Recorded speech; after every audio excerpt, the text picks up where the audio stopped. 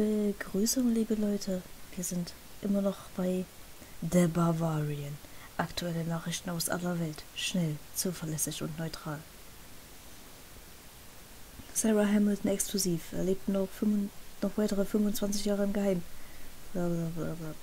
Ach, das könnt ihr selber lesen, wenn ihr das Video anhaltet. Und jetzt? Wer hat den Kaffeefleck gemacht? Nee, was denn jetzt?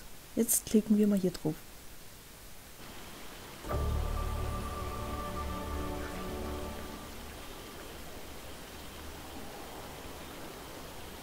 Schön, Sie wiederzusehen, Ludwig, auch wenn die Umstände etwas mysteriös sind. Warum konnten Sie uns nicht sagen, worum es geht? Und warum dieses heimliche Treffen an der Marienbrücke? Erst einmal vielen Dank, dass Sie so kurzfristig kommen konnten. Nachdem sich die dramatischen Ereignisse nun etwas beruhigt haben, möchte ich Ihnen eine kleine Geschichte erzählen.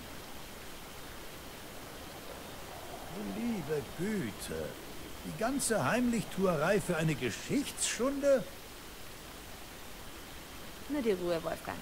Jetzt sind wir schon hier. Erzählen Sie Ihre Geschichte, Ludwig. Danke, Frau Hamilton. Ich komme auch gleich zur Sache. Sehen Sie, mein Vorfahr hat mir diesen Schlüssel zusammen mit einer Botschaft hinterlassen. Dieser Schlüssel bewahrt ein großes Geheimnis und wird unserem Geschlecht in größter Not helfen. Bis heute weiß ich nicht, was er damit gemeint hat. Mit der Entdeckung von Ludwigs Unterreich liegt allerdings die Vermutung nahe, dass der Schlüssel zu einer Tür unten in den Gewölben passen könnte.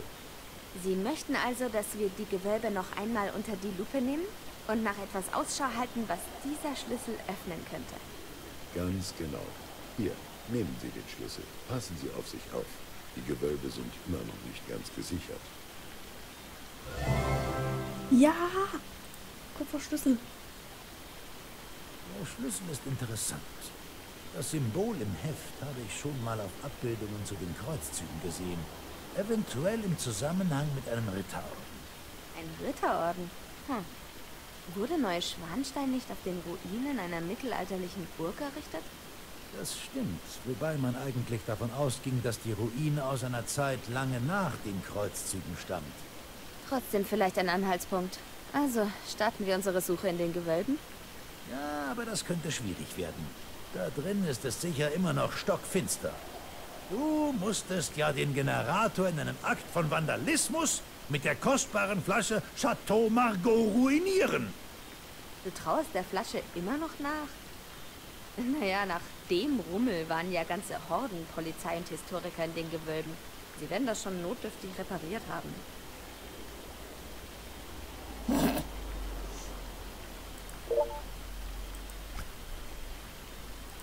Hallo Sarah.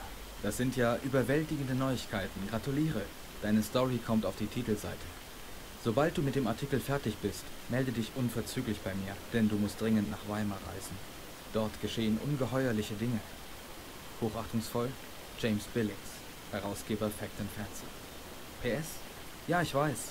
Wir müssen dein Honorar neu verhandeln.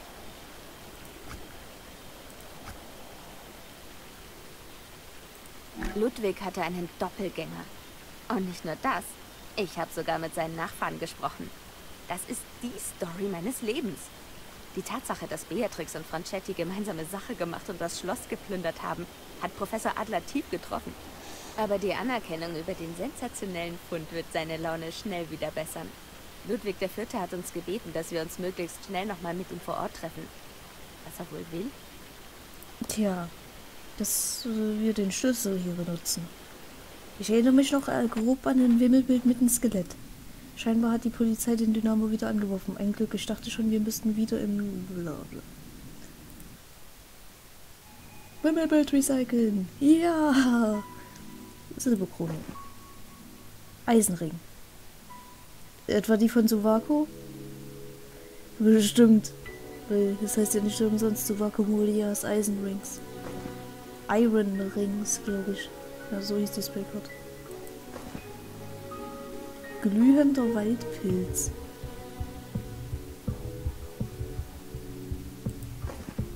Äh, das war ein Silberlöffel, kein glühender Waldpilz. Aber Man kann auch einen Silberlöffel als glühenden Waldpilz bezeichnen.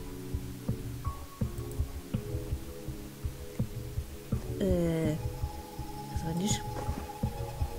Lass mal das Schild. Ach, erstmal Dinge wegnehmen, Vorhängeschloss. Ja. Sonnenuhr. Und jetzt zeig aus die Sonnenuhr nutzlos. Habe ich einen Zeiger in meinem Inventar? Nö.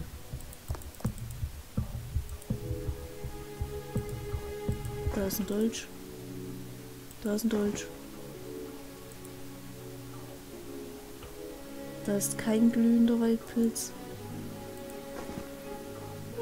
War das schon wieder der... Das war schon wieder ein Wein. Ach Mann. Hey, das mit dem Wein ist mir so lange im Kopf geblieben. Das ist... Okay. So, jetzt brauchen wir noch einen Hirschkäfer.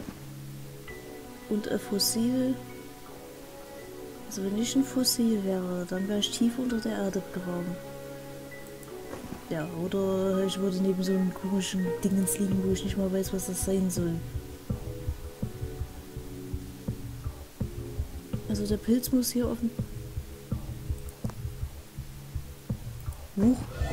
Ah, Ritterschild.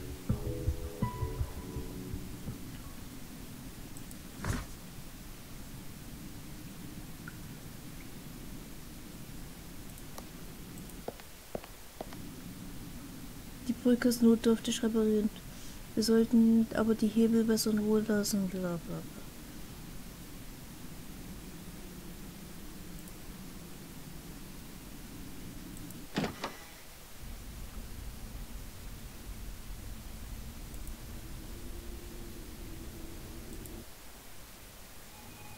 Ah, die Goldurne. Das ist. Das ist eine süße Maus. Eine Schlange. Ein Jagdmesser. Weil ein normales Messer nicht genug ist. Eine Totenmaske. Eine Schaufel. Äh. Das ist ein Teil einer Axt. Wo ist der andere Teil? Huch, das war eine Armbrust.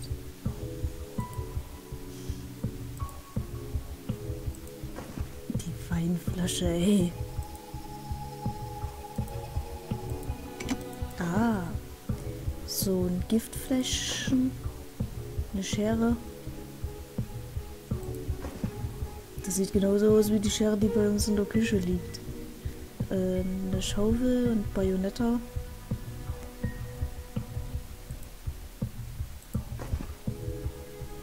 Okay, das war Bayonetta. Äh, sie hatte mal kurz einen Gastauftritt. Wenn ich eine Schaufel wäre, wo wäre ich dann? Hm. Fernrohr. Eine Schaufel. Aber kein Spaten. Eine Schaufel. Ach so, okay. Ich dachte, ich hätte das schon mal angeklickt. Diese Tür haben wir nie aufbekommen. Da sagst du was.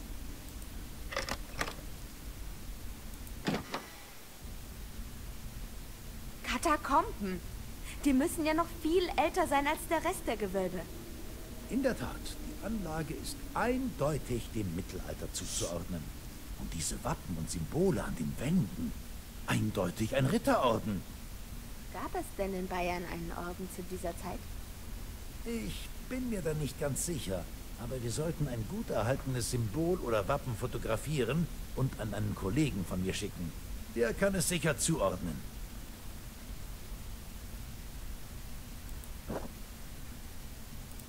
Das hier vielleicht? Nee. Ein Ritterschwert. Ich kann nicht glauben, sogar in uralten Skeletten kramst du nach Gegenständen.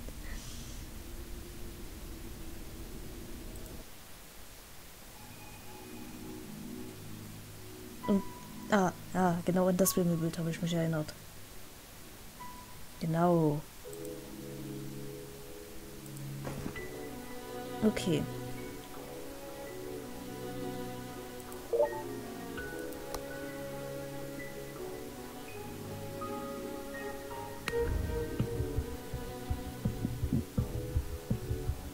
Ja, daran erinnere ich mich noch.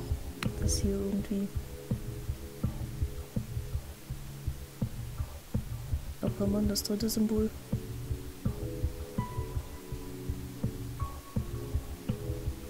Ach komm.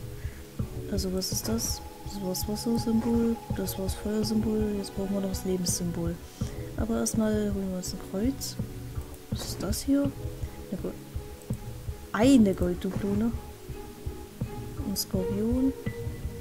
Und auch den hier, dieses kleine Viech. Eine Pergamentrolle.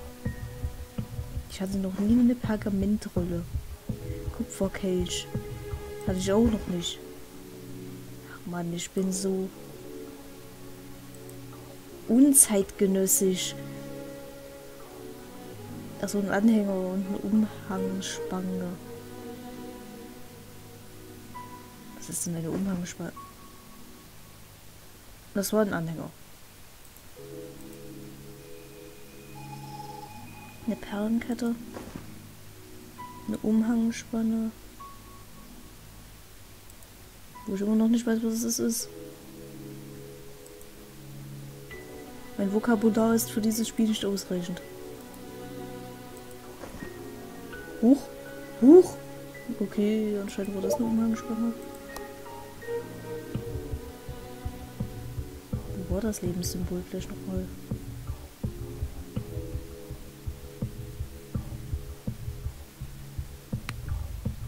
Ah, da hinten. Zierkreuz.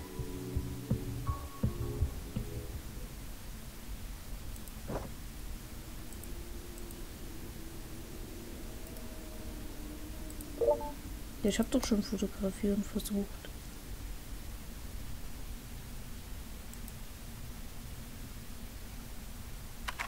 Ah, das oben. So, jetzt kleben wir das mit unserem Sofortkleber an die Wand.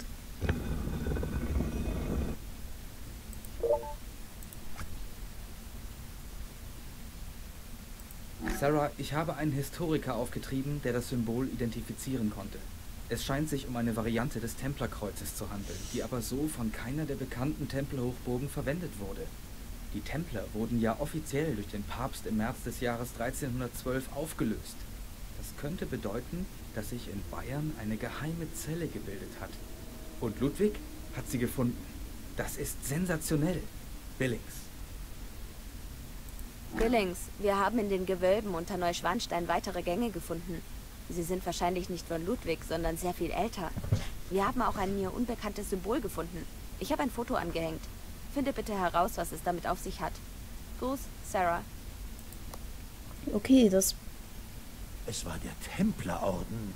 Äh, natürlich habe ich das die ganze Zeit vermutet. Ich wollte nur sicher gehen. Ja, natürlich, Herr Professor. Aber Spaß beiseite. Was wollten die Templer hier? Die Organisation der Templer wurde im 14. Jahrhundert vom Papst verboten. Anscheinend sind einige Ordensbrüder vor der Verfolgung hierher geflohen und haben einen geheimen Stützpunkt errichtet. Als Ludwig II. die Ruinen als Bauplatz erkundete, muss er wohl auf diese Katakomben gestoßen sein. Das muss doch mehr als nur ein bloßer Zufall sein. Werden die Templer nicht auch immer mit dem Gral in Zusammenhang gebracht? Willst du damit andeuten, der Gral könnte am Ende doch hier sein? Das halte ich eher für unwahrscheinlich. Sonst hätte Ludwig ihn doch sicher in die Gralskammer überführt. Das werden wir erst sicher wissen, wenn wir hier alles abgesucht haben. Nun ja, ich bin nicht unbedingt Fan von staubigen Höhlen voller Knochen. Ich muss schon sagen, du bringst nicht wirklich die besten Voraussetzungen für einen Kriminologen mit. Das würdige ich keine Antwort. Lass uns weitermachen. Okay. Eigentlich wollte ich gerade irgendwas sagen wie. Ja, dass die E-Mail schnell zurückgekommen ist, er hat sich das wahrscheinlich so eine Sekunde angeguckt und dann kam plötzlich schon die Rück-E-Mail.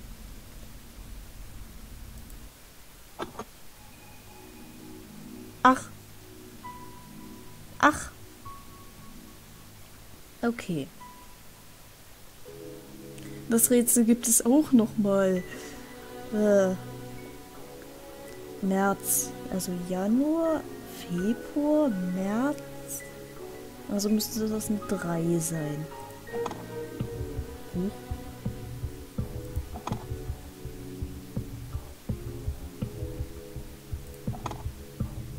Ja, nee.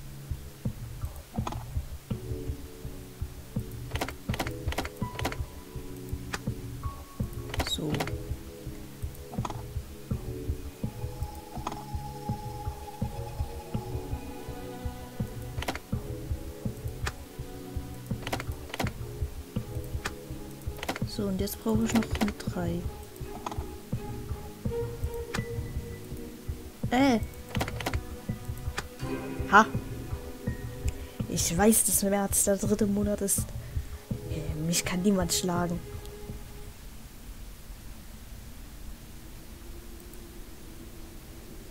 Gibt's hier eigentlich noch irgendwas anderes? Eisenmeisel. Diamant. Ja klar. Stelle ich auch einfach so in mein Dings rein. Ist hier sonst noch irgendwas?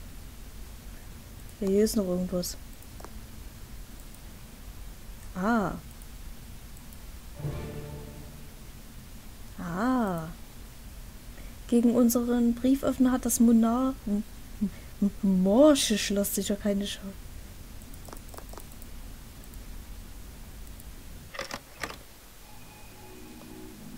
Okay.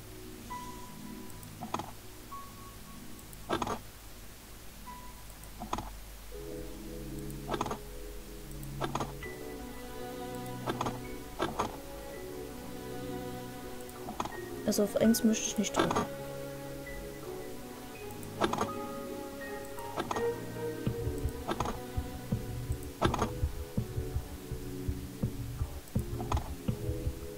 Aber ich muss auf eins drücken. Heißt, ich versuche mal als erstes auf der 1 zu drücken. 4. Aber dann komme ich nicht mehr wieder. Äh, ich. Das war Absicht. Definitiv.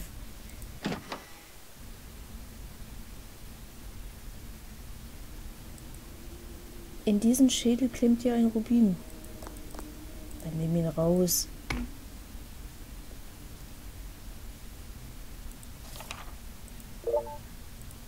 Ah, hallo Ludwigs Tagebuch.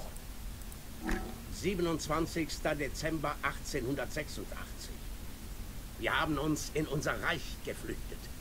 Es war der einzige Ort, den keiner meiner Neider kannte. Wir werden hier ausharren und unsere weiteren Schritte planen.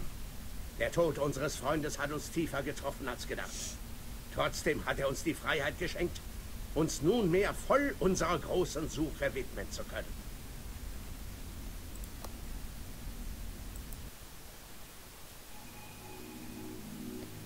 Oh, weia.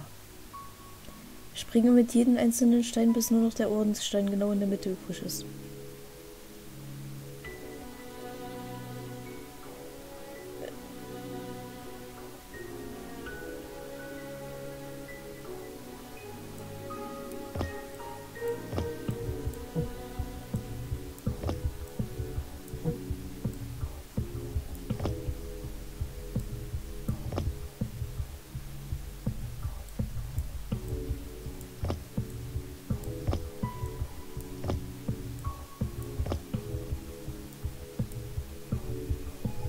Scheiße.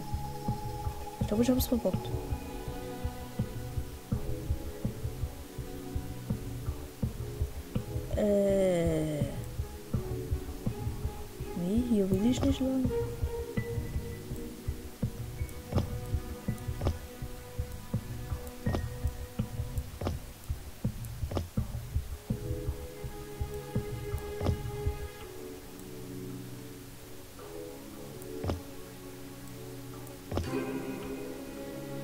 Ja gut, der muss wenigstens nicht in der Mitte sein.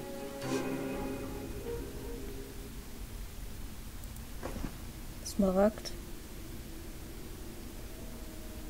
Was kommt als nächstes? Ein Saphir? Ich habe einen Diamant, einen Rubin, einen Smaragd. Dieser Sarkophag hat entweder eine große Sensation wird entweder eine große Sensation hervorspringen oder hervorbringen oder mein Frühstück. Wir haben den Dietrich verloren. Scheiße, wir haben den Dietrich verloren. Das sind alchemische Symbole, die müssen auf irgendwas hindeuten. Ja, müssen sie wahrscheinlich. Wenn du das.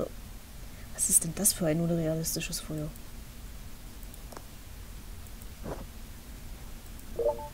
Soll ich das fotografieren? So geht das nicht. So geht das nicht. So geht das nicht. Unmöglich. Aha. Aha. Unmöglich. So. Jetzt brauchen wir noch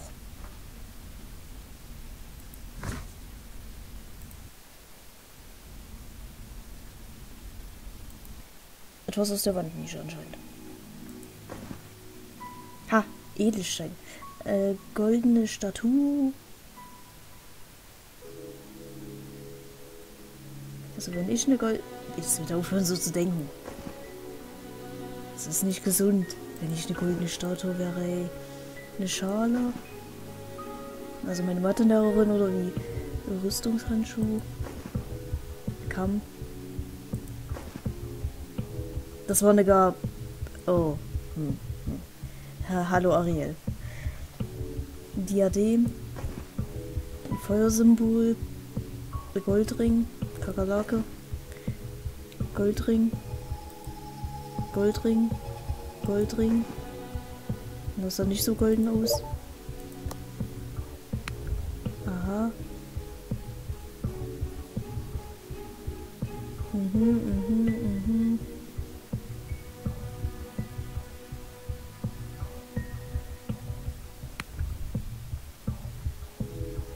Jetzt fehlt noch eins. Okay. Äh, oh. Saphir, habe ich doch gesagt. So, jetzt gucken wir uns mal an, was wir den Part überzogen haben.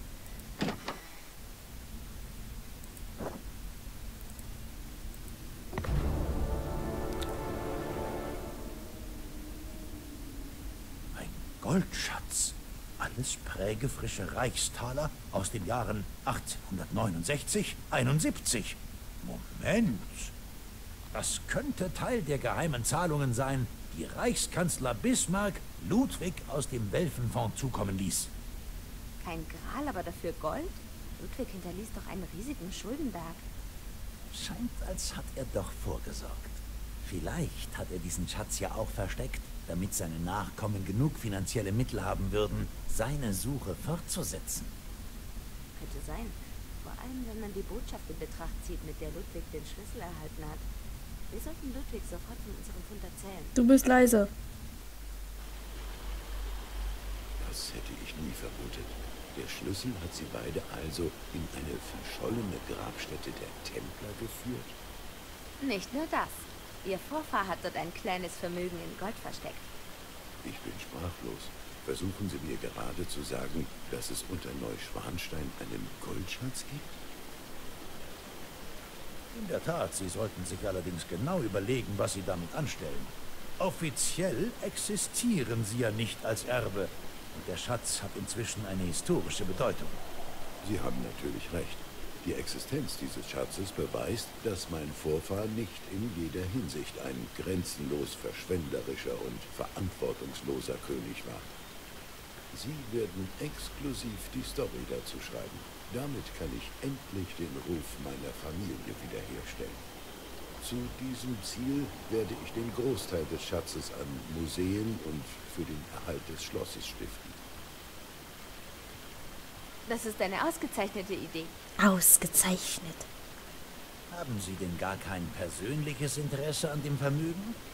Die Möglichkeit, Ludwig II.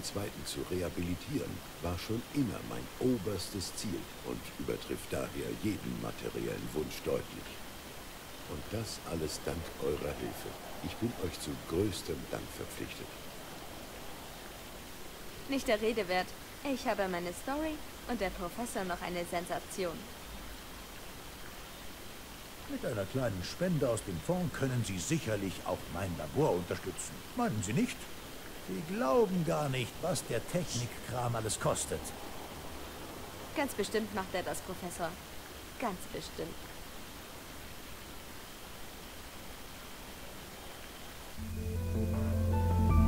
Ja, ich krieg Credits.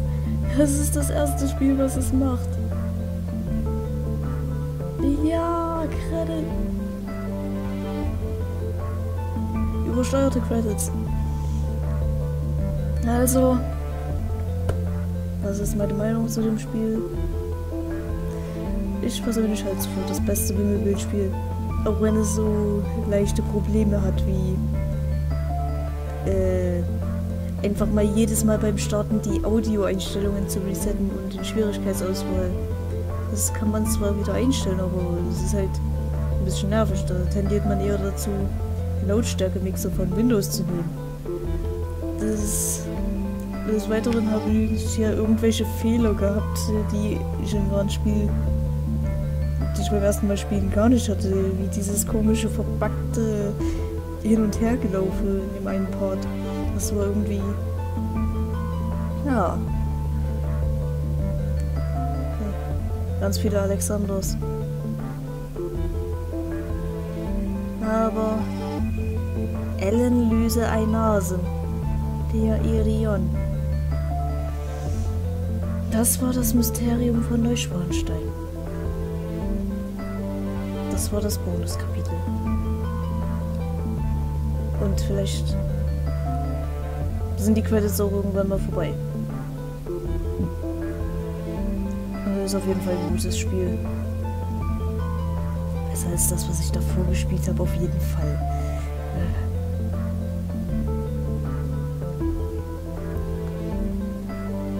Also, ich habe auf Steam übrigens mal nachgeguckt, ob die Firma noch ein Spiel hat. Also, ein weiteres Wimmelbildspiel, aber irgendwie... Nein. Und kein Nachfolger. Schade eigentlich. Oh, hier sind die Sprecher. Vielleicht kennt ihr ja den einen davon. Das sind aber schön ziemlich viele Sprecher. Obwohl Barbara Gassner hat anscheinend mehrere Leute gesprochen, wenn ich das gerade. Und Bert Stevens auch. Howard Allison.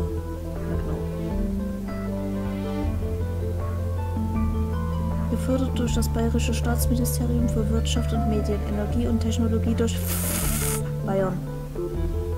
Ja, Bayern ist meine Lieblingsfirma. Definitiv. Und jetzt ist nur noch mein Mauszeiger im Bild. Wie bei guten alten 2009 Let's Plays. Und wenn wir schon mal hier sind, dann können wir uns auch noch die Bonusanhalte gucken. Äh, Inhalte. Äh, äh, was hier sind alle Charakter Design. Was ist das denn? Tja, wer das ist, keine Ahnung. Na, das hier ist wahrscheinlich das die ursprüngliche Design von dem Ludwig den das hier ist eindeutig Beatrix.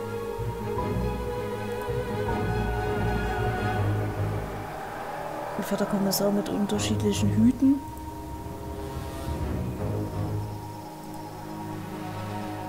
Ja, das ist Sarah. Was ist das? Wolfgang. Und. Und das ist wahrscheinlich Francesco. Hier haben wir auch noch schöne Bildschirmhintergründe. Das Bild ist nie im Spiel so vorgekommen, weil der Typ schon eher verreckt ist. Huch. Also, wenn ihr dieses Spiel wirklich gerne habt, dann könnt ihr auch es euch kaufen und einen Bildschirmhintergrund machen. Das ist doch... Ja. Schön. Also als nächstes habe ich dann vor, Dark Parables weiterzuspielen. Keine Einwände? Ja, habe ich mir gedacht.